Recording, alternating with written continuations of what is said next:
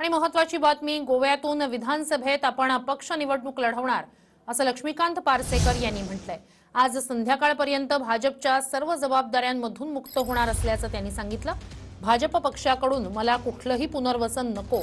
अनेक राजकीय पक्षांच्या ऑफर आहेत पण आपल्याला कुठल्याही पक्षात जायचं नाही असंही पारसेकर यांनी स्पष्ट केलंय.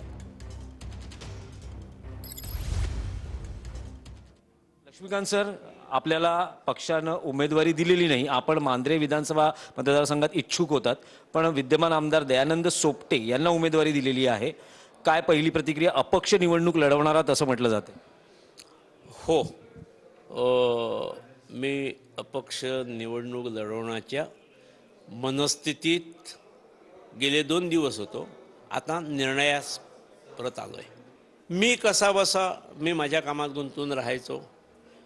पार्टीची एक दोन छोट्या मोठ्या नावापुरत्या तरी जबाबदाऱ्या माझ्याकडे होत्या. त्यामुळे ओके माझे पक्षाकडलं संबंध होते. पण आता कडेलोट झाला ह्या विषयांचा. आणि कार्यकर्ते जबरदस्त नाराज झालेत. आज मी राजीनामा सादर करणार आहे सगळ्या जबाबदाऱ्यांचा.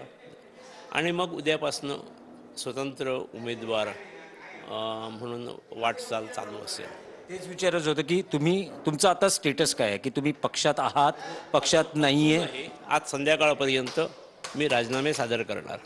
Video Kishor भोवरसह Dinesh Dukhande T V nine Marathi Mandre Goa.